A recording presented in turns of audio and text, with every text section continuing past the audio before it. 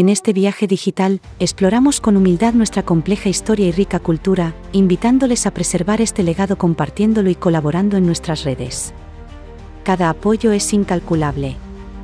Les animamos a profundizar en nuestra narrativa a través de YouTube, suscribiéndose y uniéndose a nuestra comunidad y redes sociales. Con gratitud, agradecemos cada gesto de apoyo y cada suscripción, pues juntos tejemos los relatos que nos unen en este humilde intento para que no caiga en el olvido nuestra historia. Mil gracias, esperamos que sea de su agrado. Achinek. La isla del infierno. Su denominación a través del tiempo constituyen un entramado cautivador de influencias culturales, interpretaciones de los primeros exploradores y la rica tradición lingüística de los guanches en Tenerife. Este nombre, resistente al paso de los siglos, continúa generando un intenso interés que arroja luz sobre la compleja historia cultural de las Islas Canarias. Desde sus orígenes, conocida como Ninguaria por Plinio el Viejo, debido a las nieves perpetuas de su cumbre, pasando por Nivaria en los textos latinos, a Isla del Infierno, en mapas del siglo XIV, posiblemente por las erupciones volcánicas observadas por los primeros navegantes. Bettencourt Alfonso ofrece una interpretación reveladora, apuntando que el nombre Isla del Infierno surgió del contacto con los indígenas de Tenerife, al traducir la voz guanche chinechi, chineche o achinec, que significa infierno. Este nombre, según la mitología guanche, se ubicaba en el centro de la isla, con el Teide funcionando como la comunicación con el mundo de los vivos o la boca del infierno. Además, surge una malinterpretación de Abreu, quien menciona que a la isla de Tenerife algunos la llaman Chinechi y otros Vincheni, cuando en realidad, Abreu indica que la isla se llama Chineche, pero Vincheni se refiere a sus habitantes. Esta confusión abre paso a una novedad propuesta por Marín y Cubas, la introducción de la voz gucancha como posible étimo de guanche, una interpretación que solo Chile y Naranjo considerarían posteriormente. Aún más peculiar es la asociación de esta voz con el significado de perro, relacionado con grandes y lanudos canes que los aborígenes canarios vinculaban con el demonio, según las crónicas y la tradición. Sin embargo, este término, cancha o bucancha lo vemos en Gran Canaria con los tibicenas, y la creencia asociada, exclusivos de Gran Canaria, tal como detalla Gómez Escudero. Este recorrido por los nombres que ha recibido Tenerife, desde sus denominaciones guanches hasta el actual, no solo resalta la complejidad de sus raíces culturales y lingüísticas, sino también cómo la percepción de la isla ha evolucionado con el tiempo.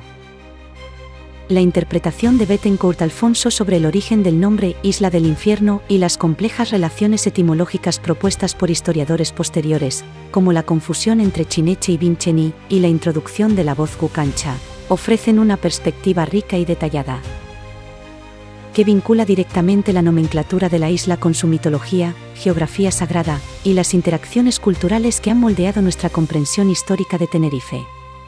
Estas capas de interpretación y reinterpretación subrayan la profundidad de la identidad de Tenerife dentro del diverso archipiélago canario, iluminando los enigmas de su pasado y las riquezas de su patrimonio cultural.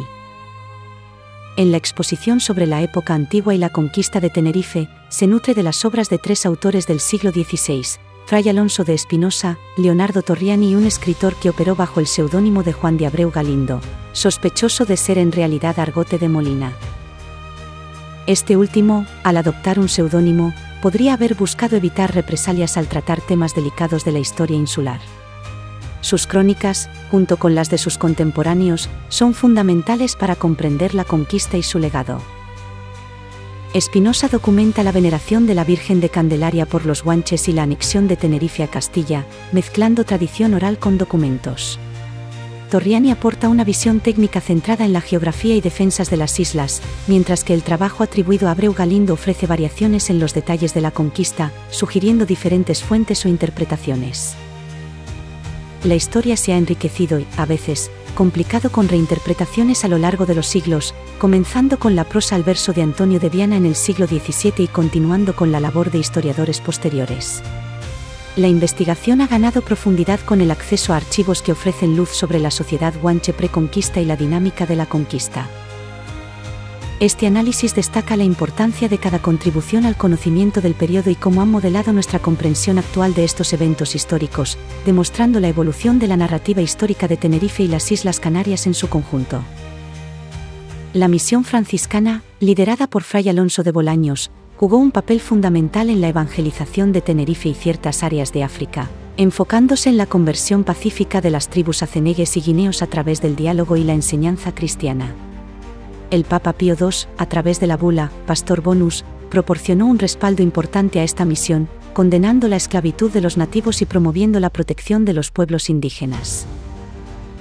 La estructura organizativa de las misiones se dividió en dos vicarías, una para las Canarias y otra para las islas del Océano y Guinea, facilitando así la gestión misionera. En Andalucía, se fundaron conventos como el de Santa María de Jesús en Sanlúcar de Barrameda y el convento de la Madre de Dios en Jerez, que sirvieron como centros de formación y descanso para los misioneros, evidenciando la colaboración entre la Iglesia, la Orden franciscana y la sociedad. Fray Alonso de Bolaños, nombrado vicario en 1462, destacó en la organización y reclutamiento de misioneros, preferentemente de Andalucía, lo que resalta la relevancia de esta región como centro misionero. Sin embargo, tras su muerte en 1478, la misión sufrió un declive debido a rivalidades internas y disputas, lo que llevó a la decisión papal de integrar a los misioneros bajo la Vicaría de Canarias, marcando el fin de la Anunciatura Independiente de Guinea. Este periodo refleja la compleja interacción entre la evangelización, la política papal y las dinámicas sociales y culturales en las Islas Canarias, estableciendo las bases para la futura evangelización en el contexto de una creciente dominación política y militar. Ahora nos centraremos en los guanches antes de la conquista, a través de los testimonios de autores clásicos presentaremos extractos de las narraciones de antiguos cronistas, navegantes y exploradores que llegaron a estas islas desde mediados del siglo XIV. Frecuentemente, desde una perspectiva de superioridad, describieron como bárbaras las costumbres que observaron. Es crucial recordar que estos relatores provenían de una época distinta, donde tales juicios eran comunes.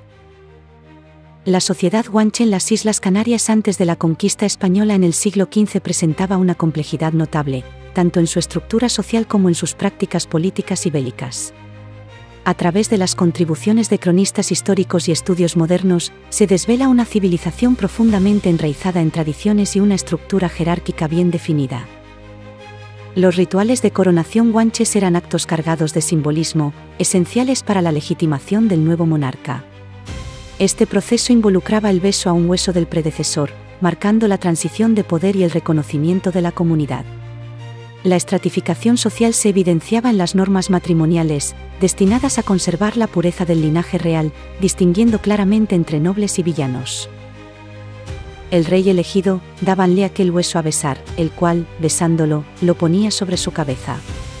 Y después, de los demás principales que allí se hallaban, lo ponían sobre el hombro y decían, Eganya coroni ñetzañana chaconamaet, que significa, juro por el hueso de aquel día en que te hiciste grande, Espinosa la organización política reflejaba una división territorial en múltiples reinos, cada uno gobernado por un mencey. Esta fragmentación, junto con constantes conflictos internos, facilitó eventualmente la conquista española.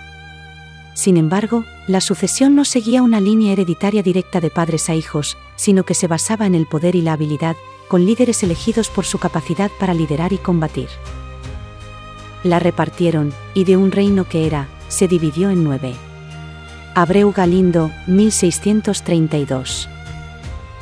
La visión de Gómez Ins de Zurara y Cadamosto sobre la organización militar y las prácticas funerarias guanches aporta una dimensión adicional a nuestra comprensión de esta sociedad. La utilización de armas fabricadas a partir de materiales naturales, como astas de tea de pino, y la veneración de sus reyes a través de rituales específicos de entierro, subrayan una profunda conexión con su entorno y una rica tradición espiritual la intervención de Gaspar de Fructuoso revela cómo la falta de unidad y la constante beligerancia interna entre los reinos guanches contribuyeron a su derrota ante los conquistadores españoles. Fructuoso narra que la división política y los roles de género en el trabajo y el combate minaron la capacidad de los guanches para resistir eficazmente. Dicen que si estos guanches se hubieran puesto de acuerdo entre sí, los españoles nunca habrían podido vencerlos pero fueron vencidos porque las mujeres eran las que trabajaban la tierra, mientras que los hombres andaban siempre en guerra, unos reinos contra otros, que, según unos, eran siete, según otros, nueve.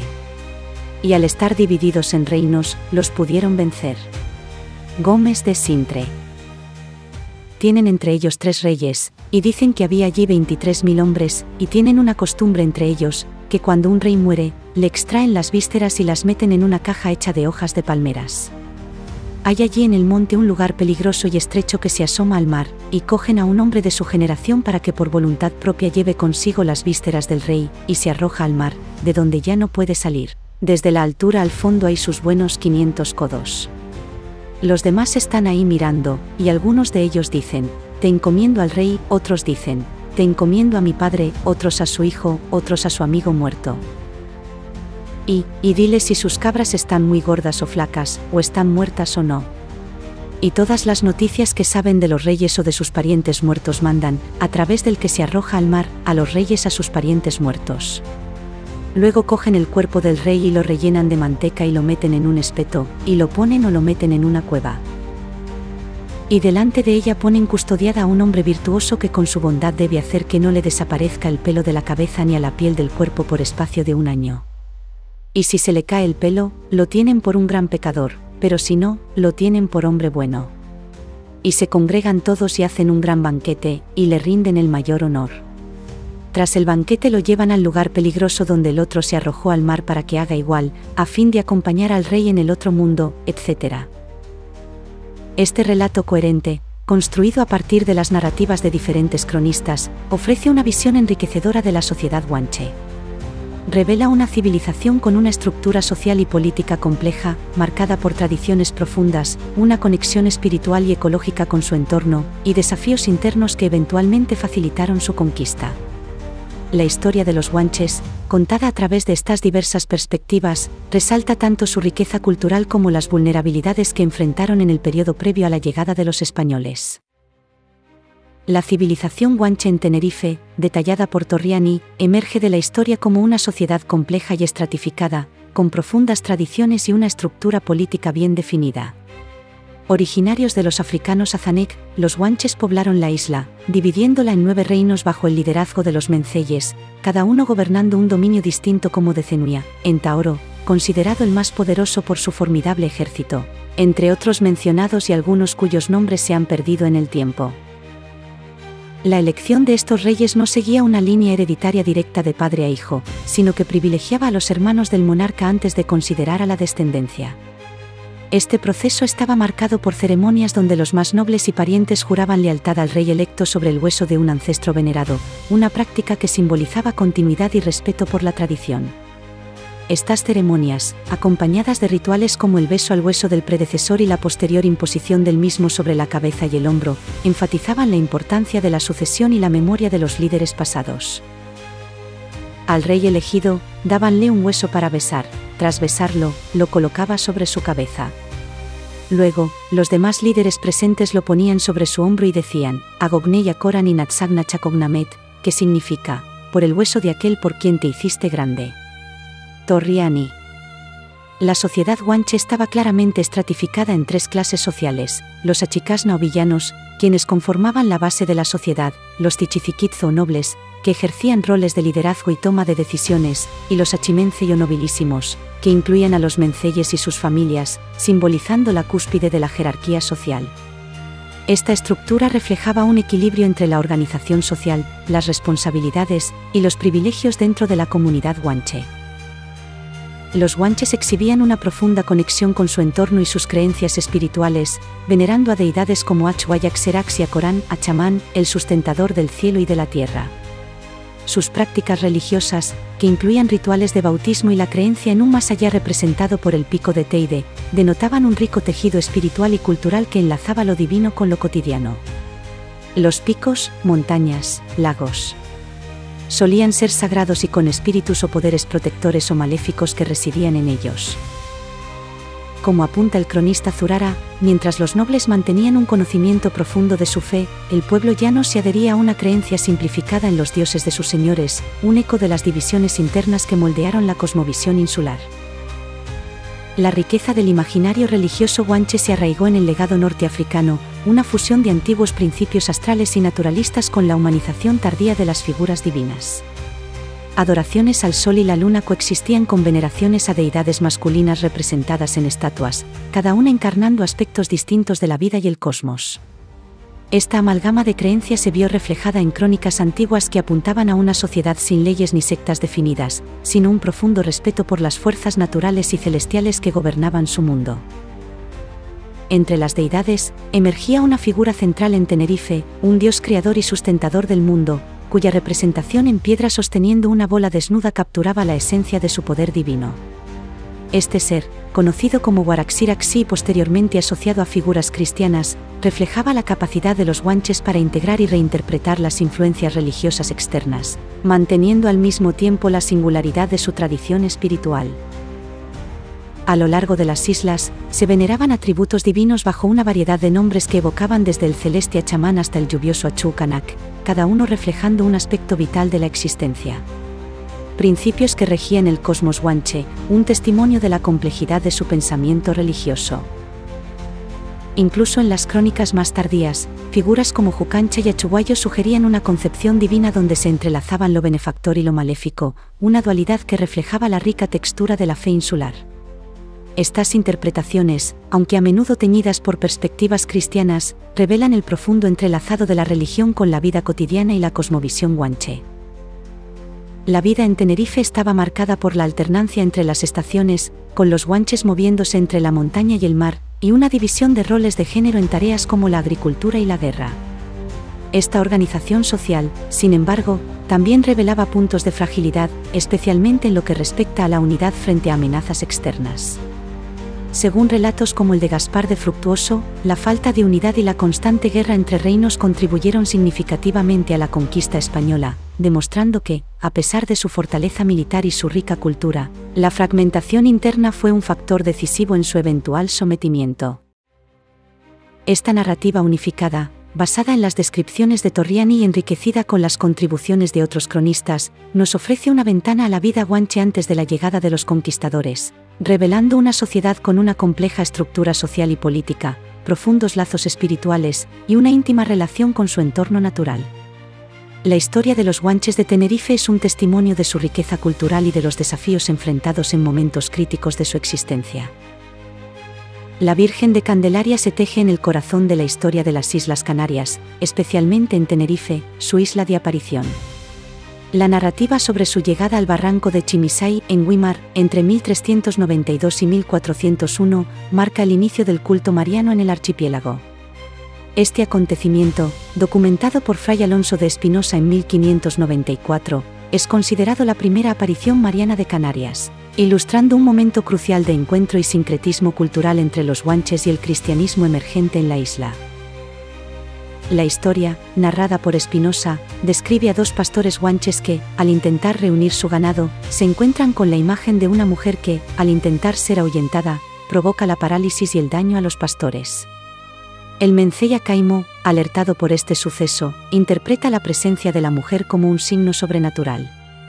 Al intentar trasladarla, la imagen revela su sacralidad curando a los pastores afectados, lo que lleva a su veneración como la madre del sustentador del cielo y de la tierra la identificación de la imagen con la Virgen María, gracias a la intervención de Antón Guanche, un joven que había sido esclavizado por una razia a los siete años.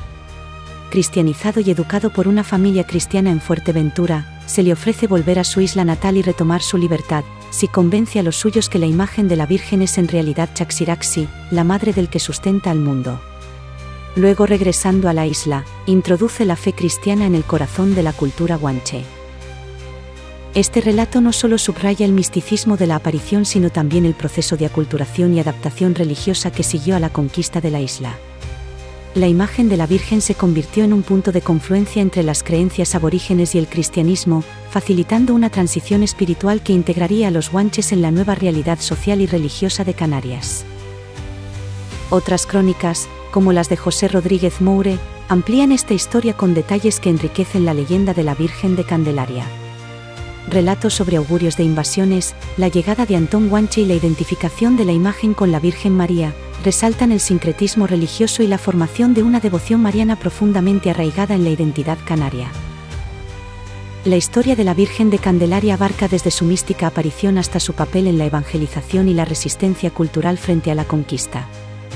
La Virgen de Candelaria, considerada una de las vírgenes negras más veneradas, se encuentra en el centro de intrigantes teorías que la conectan con la Orden del Temple y tradiciones europeas similares.